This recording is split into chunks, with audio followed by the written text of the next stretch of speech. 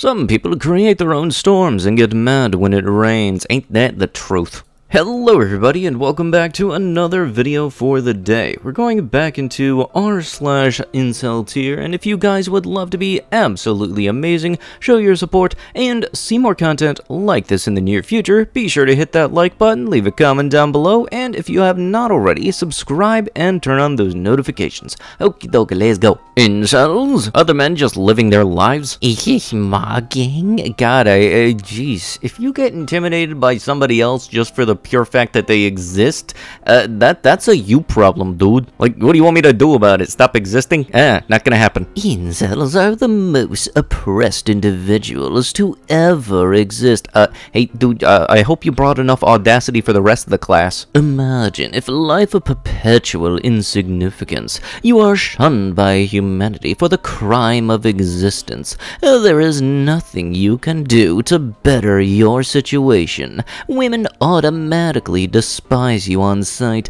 and men see you as little more than a walking doormat. You have done nothing to earn these people's hate, yet they continue, for all eternity, to arbor your existence. I don't know if I said that right, okay? This is the daily life of an incel. There is no hope for such an individual. The incel will go through this life until he inevitably commits unaliving at around 30. I thought that was when you become a wizard. Be kind to others. Show empathy. So let me get this straight. Just because nobody wants to get in your pants, it is the exact same thing as like say 1942 Germany or people getting hung up in trees in the 1800s. Yeah, no, it's exactly the same. I used to be the type of dudes that exclaim the phrase F me and people not realize that there's a question mark at the end of that. Females are absolute clock sleeves for any male between 5'10 and over 6 feet tall, regardless of personality,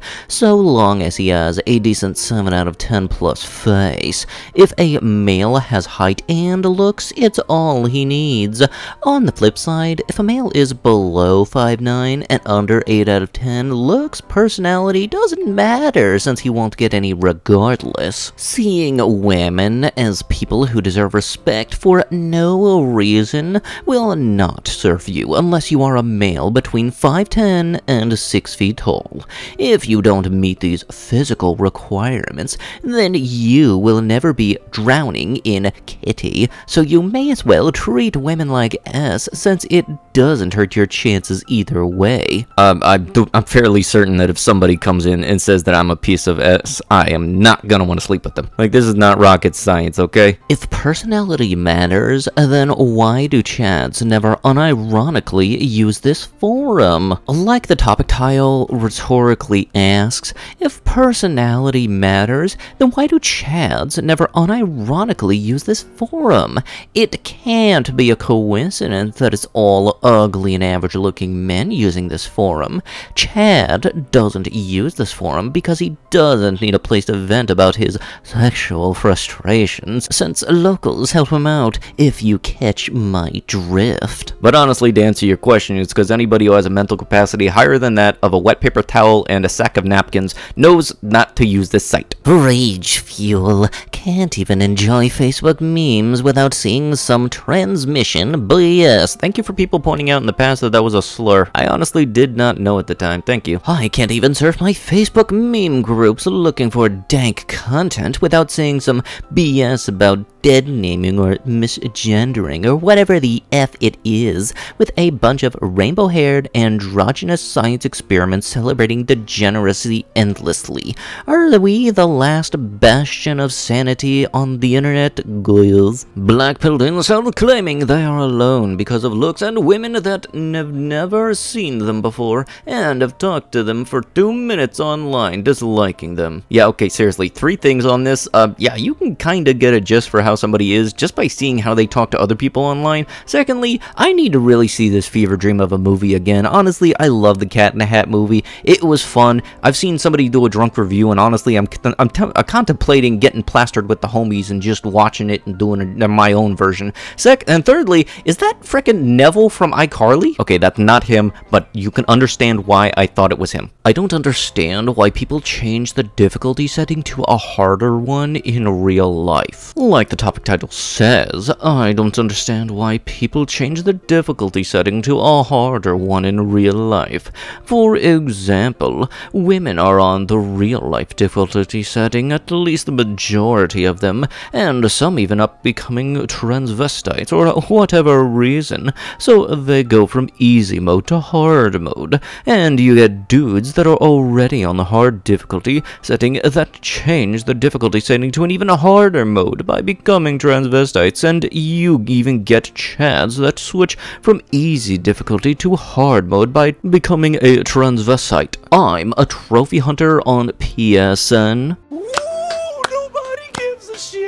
And there are trophies on many games for beating a lot of games on the hardest difficulty setting, so playing on hard difficulty setting is understandable when it comes to video games, because you prove your skill and also get a trophy for it, etc. But why change the difficulty setting in real life? I don't understand. Real life is not something you want to make harder for yourself. It's not something you should F with. Can tell you this right now, the only type of difficulty setting that changes in life is when you become an adult, and it changes when you don't want it to. So as uh, seriously, if anything, if life was a video game, the first 18 years is a tutorial that didn't teach you anything about the game, because where in grade school did they teach you how to do your taxes or healthcare, stuff like that? Nope, nothing, not a single place, but you do know what the powerhouse of a cell is, don't ya? A JFL, women that complain about men not knowing their anatomy anatomy slash physiology. Nothing annoys me more. These women expect you to know every tiny bit of clunk anatomy by heart